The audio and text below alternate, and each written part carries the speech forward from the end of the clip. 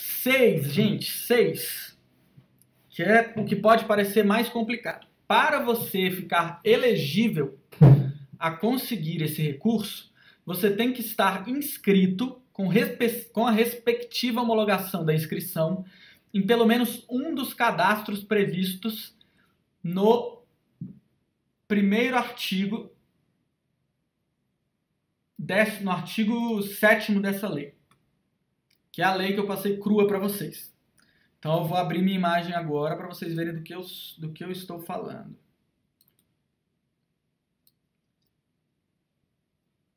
Cadastros. Na verdade, deixa eu pegar a lei crua aqui. Cadastros estaduais de cultura. Deixa eu copiar elas aqui.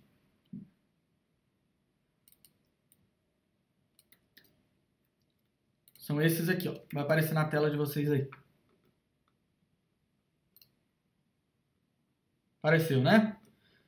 Cadastros estaduais de cultura, cadastros municipais de cultura, cadastros distritais de cultura, cadastro nacional de pontos e pontões de cultura, cadastro estadual de pontos e pontões de cultura, Sistema Nacional de Informações e Indicadores Culturais, Sistema de Informações de Cadastros do, do Artesanato Brasileiro, outros cadastros referentes a atividades culturais existentes na unidade da federação.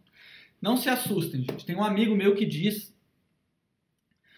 é, que a burocracia, ele me disse isso quando eu tinha 17 anos, que a gente queria fazer um intercâmbio e tinha muita burocracia. A burocracia ela quer filtrar, ela pelo menos serve para filtrar quem quer de verdade. E eu tô aqui para mostrar que a burocracia não é um bicho de sete cabeças assim, para você que quer de verdade é, conseguir esse recurso, tá? Outros cadastros referentes a atividades culturais existentes na unidade da federação bem como projetos culturais apoiados na Lei 8.313, que é a Lei Rouanet, nos últimos 24 meses.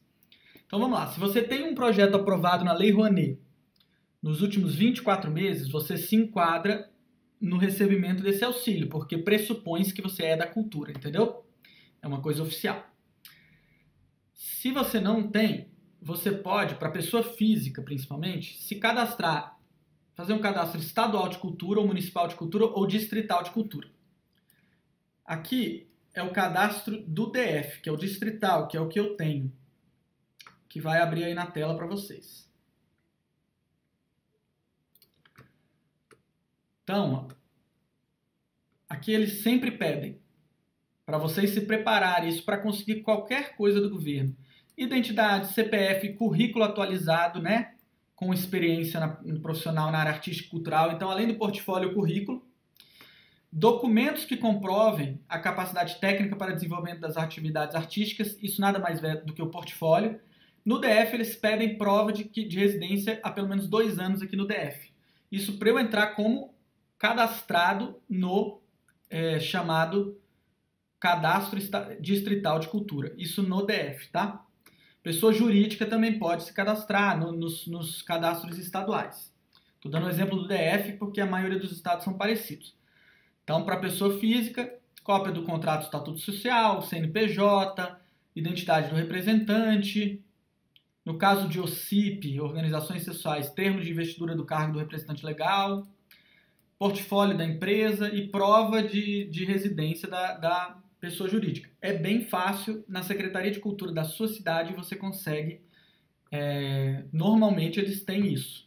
Eu até botei esse link aqui do DF e abri o de São Paulo também para ver se era basicamente a mesma coisa e é. Você se cadastra aqui e você vira um agente. Aí aqui nessa página a gente consegue buscar os agentes de São Paulo, tá vendo? Aí você vê a Kátia Mello é uma agente de cultura já, porque ela já fez esse cadastro. Então, para você que quer Fátima, o texto da lei está disponível. Sobe no chat aí que eu deixei lá em cima. Em Câmara Legislativa. Mas se não tiver, se não tiver, depois se você não achar, eu vou colocar de novo, tá? Texto cru da lei.